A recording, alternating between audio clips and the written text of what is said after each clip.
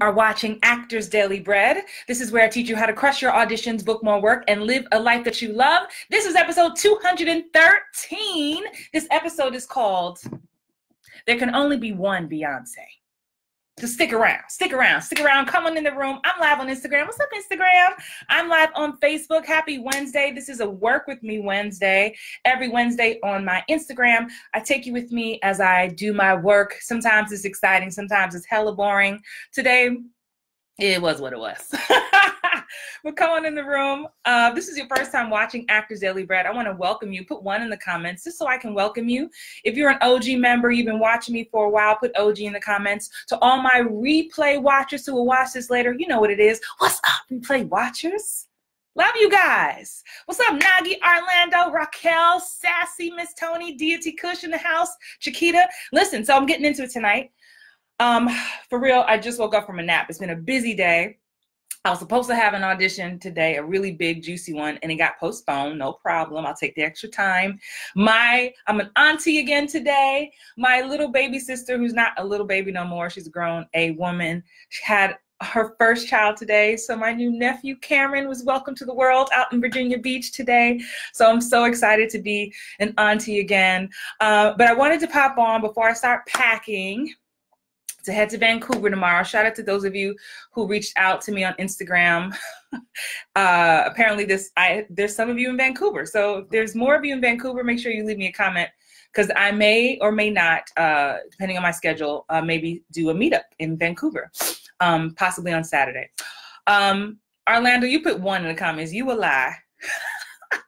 but listen, listen, listen, listen, listen, Linda. Let's talk about it. It's pilot season. For some of you, that might mean absolutely nothing, and that's okay. We're all in different places and spaces.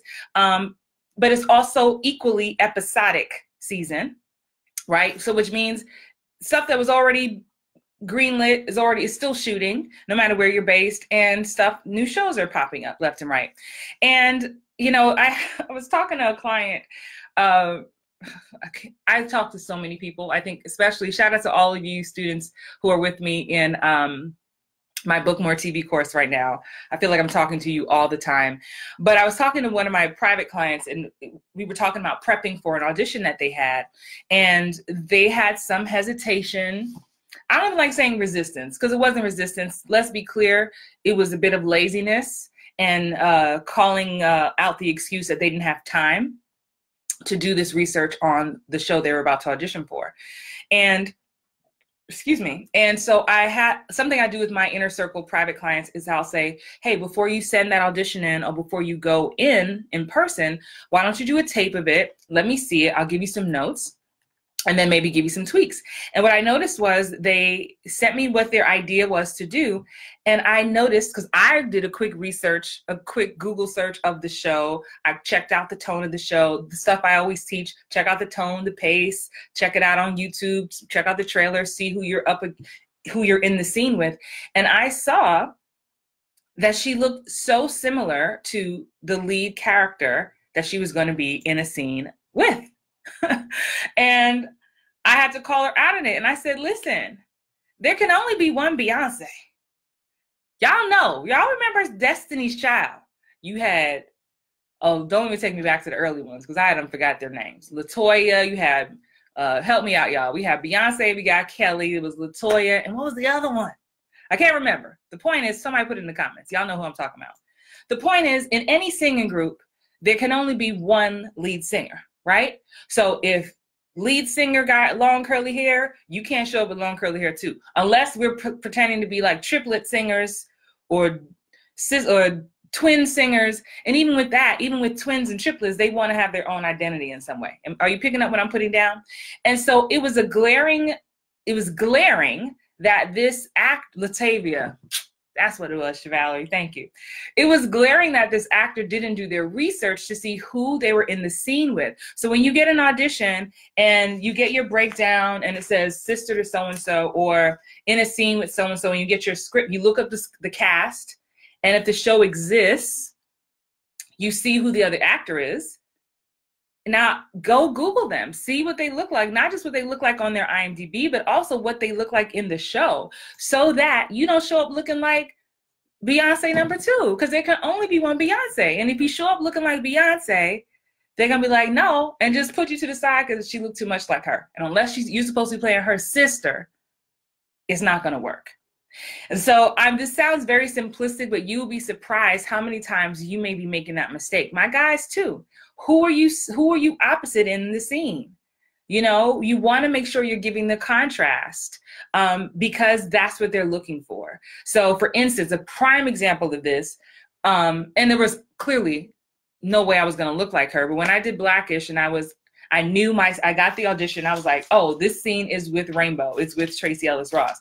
So I wasn't going to pull out one of my big hair wigs. And even though I'm chocolate, that was already a contrast. But I already knew to come with something just as drastic as possible that would look good on camera because of the contrast. And so again, I'm I'm like gonna beat the nail over the head, especially this year, because I want more of y'all to book more work, book more TV specifically. You got to start paying attention to these little details. There's only one Beyonce. Just say that to yourself. There can only be one Beyonce. There can only be one Nick Jonas. I don't know. What's the what's the guy group we can use? what's the what's the leading guy we can use? For my guys out there. But seriously, think about that. And so when you get that script, and you're studying and you're thinking about okay you go to your closet what am i going to wear to represent this character to represent represent the the mood and the tone of this show remember that you are also looking for contrast because that is what casting is looking for as well unless you are supposed to be a family member okay so i hope that makes sense just checking these comments um, on Facebook. Um, da, da, da, da. Okay, awesome. Great. Listen, I'm not going to take up too much time. Justin Timberlake. Yeah, there can only be one Justin Timberlake. Don't be Justin Timberlake number two. Um, listen, if you've missed any of these Actor Daily Breads, this is episode 213, 213, so you can come to my YouTube channel and catch up on 212 other episodes, and, and, there's actually more things on there. So knock yourself out. Um, have an amazing rest of the week. Um, I need to get ready to go pack. Um, yeah, stay encouraged. Listen, I know this can easily turn into a season where you can see friends working more than you or getting more auditions than you. Just remember, you don't always know the full story. You don't always have the full breakdown. Something may appear to be just up your alley, but you don't have all the details and you don't know all the things that's going on behind the scenes. So just stay encouraged, stay in your lanes, keep doing your work, keep working your muscle, keep just practicing getting the muscle ready. I can't stress this enough.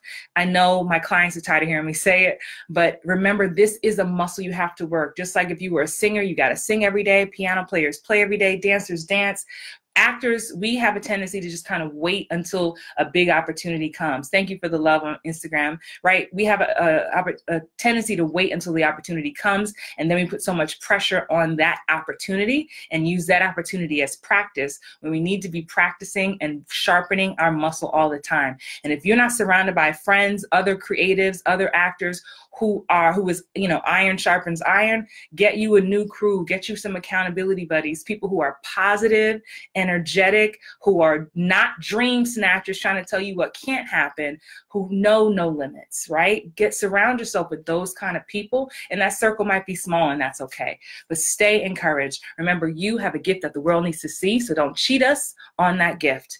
Hey listen if you want more inspiration my i released a new podcast episode my Hollywood Bound Actor podcast. Wherever you like to listen to podcasts, there's a new episode that I released today that I think is going to be really helpful for really dealing with relationship loss after a gig is over. So, any of you who've ever bonded with people on set, on a on a national tour, on Broadway, on a gig, and then that relationship was ripped apart because it was over and you don't know how to deal with that loss and it's hard to talk about or even process, I think you will really uh, be blessed by this week's episode. All right, I will see you guys next time. I love you all. Have an amazing night. Bye.